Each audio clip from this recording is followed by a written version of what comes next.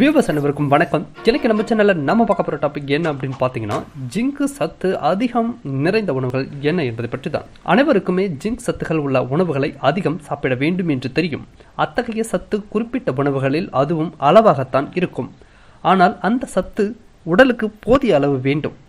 இல்லையெனில் உடலில் எந்த ஒரு செயல்பாடும் சரியாக நடைபெறாது. எனவே அத்தகைய சத்துக்கள் உள்ள உணவுகள் என்னவென்று வீடியோக்குள்ளே பார்க்கலாம். வீடியோக்குள்ளே போகிறதுக்கு முன்னாடி நம்ம சேனலை நீங்கள் சப்ஸ்கிரைப் பண்ணலன்னா சப்ஸ்கிரைப் பண்ணுங்கள் என் கூடவே பெல் ஐக்கானை சேர்த்து ப்ரெஸ் பண்ணிவிடுங்க ஜிங்க் சத்தில் அதிகமான நன்மைகள் உள்ளன. அதிலும் ஜிங்க் உணவுகளை அதிகம் சாப்பிட்டால் நீரிழிவை தடுக்கலாம். எனவே அந்த சத்துள்ள உணவுகளை சாப்பிடுவதில் கவனம் செலுத்துங்கள் என்று சொல்கின்றனர் மருத்துவர்கள்.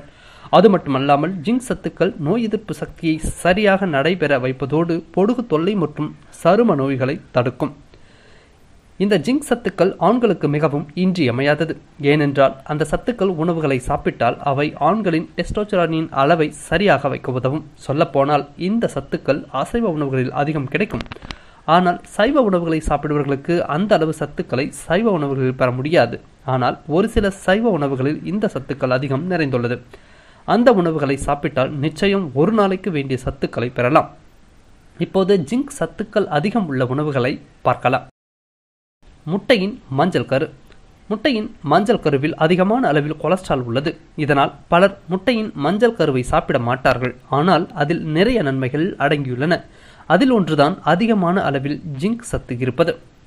இரண்டு எல் நிறைய விதைகளில் ஜிங்க் சத்துக்கள் உள்ளன. அத்தகைய விதைகளில் ஒன்றான எள்ளிலும் அதிகமான ஜிங்க் மற்றும் கால்சியம் சத்துக்கள் அடங்கியுள்ளன.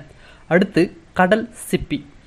ஜிங்க் சத்து அதிகம் உள்ள உணவுகளில் கடல் உணவுகள் மிகவும் பிரபலமானது. குறிப்பாக கடல் சிப்பியில் ஜிங்க் எனும் சத்து அதிகமாக உள்ளது. அது மட்டுமின்றி மேலும் பல சத்துக்களையும் உடலுக்கு தருகின்றது. வேர்க்கடலை. வேர்க்கடலையில் நல்ல கொலஸ்ட்ரால் அதிகம் உள்ளது. மேலும் ஜிங்க் சத்தும் அதிகம் இருக்கின்றது. எனவே வறுத்த மற்றும் உப்பு உள்ள வேர்க்கடலையை சாப்பிடுவதை தவிர்க்க வேண்டும். அடுத்து பூண்டு. வாசனை பொருட்களில் ஒன்றான பூண்டில் அதிக சத்துக்கள் உள்ளன. அந்த சத்துக்களில் ஜிங்க் சத்தும் ஒன்றாகும். இறைச்சியில் செம்மறியாடு மற்றும் மாட்டு இறைச்சியில் அதிகமான அளவில் ஜிங்க் சத்தானது உள்ளது. இந்த உணவை ஆண்கள் அதிகம் சாப்பிட்டால் ஜிங்க் சத்தோடு புரோட்டீனும் கிடைக்கும். அடுத்து காளான். சூப்பர் உணவுகளில் ஒன்றான காளானிலும் ஜிங்க் சத்துள்ளது. எனவே இதனை வாரத்திற்கு இரண்டு முறை சாப்பிட்டு வந்தால் நல்லது. அடுத்து காராமணி.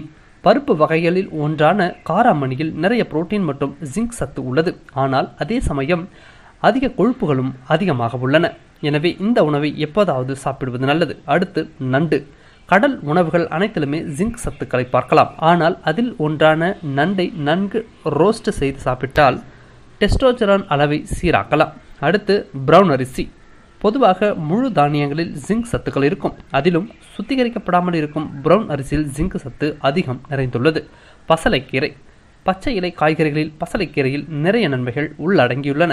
இதில் வைட்டமின் கே கால்சியம் மற்றும் இரும்பு சத்து இருப்பதோடு ஜிங்க் சத்தும் அதிகம் உள்ளது.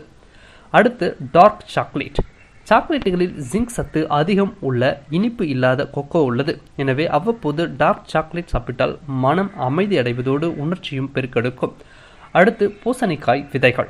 பூசணிக்காய் விதைகளை வைத்து நிறைய ஸ்நாக்ஸ்கள் உள்ளன.